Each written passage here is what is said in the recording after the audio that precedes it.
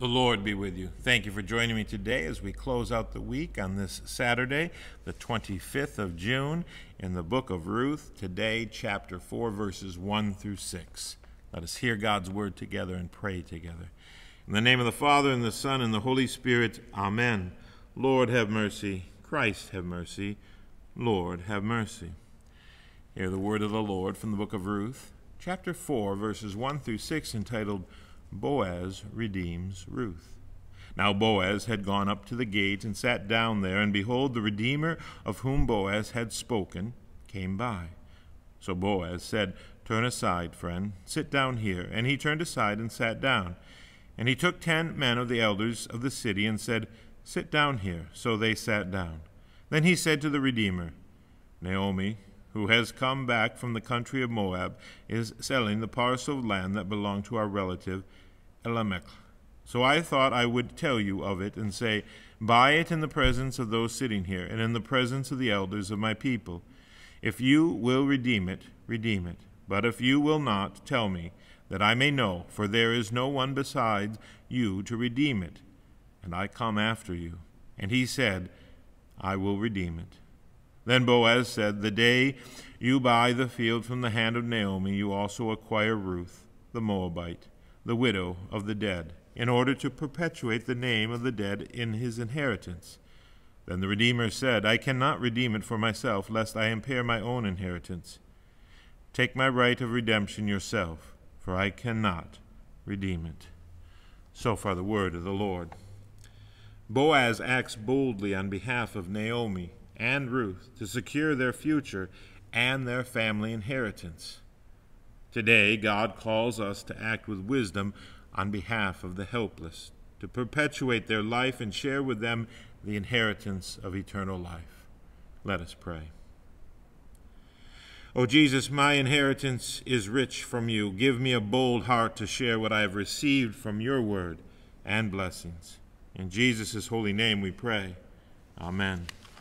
We continue now in prayer on this 25th day of June and the Pray For Us calendar and the prayer of the church, the last one for this week.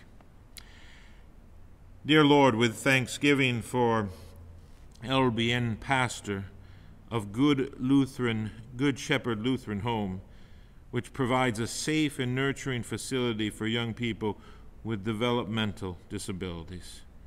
We pray that you continue to be with all the workers and people present there. In Jesus' name we pray. Amen. Almighty and eternal God, you are worthy to be held in reverence by all people. We give you our most humble and hearty thanks for the immeasurable blessings you have bestowed upon us, unworthy and undeserving though we be. Bring us to the acknowledgement of your grace and goodness, and fill our hearts with the desire to worship you above all things, and to serve you in holiness and righteousness all the days of our lives.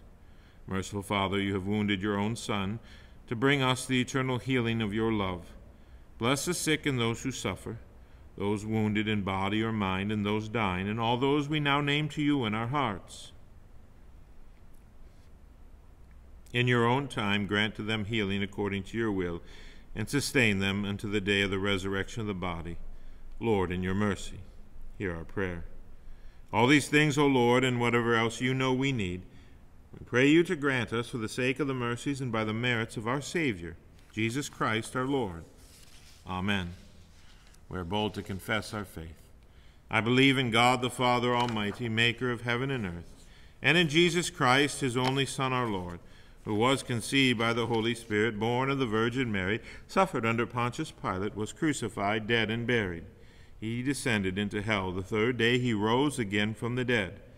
He ascended into heaven and sitteth at the right hand of God the Father Almighty. From thence he shall come to judge the quick and the dead. I believe in the Holy Spirit, the holy Christian church, the communion of saints, the forgiveness of sins, the resurrection of the body, and the life everlasting. Amen. We're bold to pray together as he has taught us. Our Father, who art in heaven, hallowed be thy name. Thy kingdom come, thy will be done, on earth as it is in heaven. Give us this day our daily bread, and forgive us our trespasses as we forgive those who trespass against us. And lead us not into temptation, but deliver us from evil. For thine is the kingdom and the power and the glory forever and ever. Amen. Let us bless the Lord. Thanks be to God. The Lord bless you and keep you. The Lord make his face shine upon you and be gracious unto you. The Lord lift up his countenance upon you and give you peace. Amen.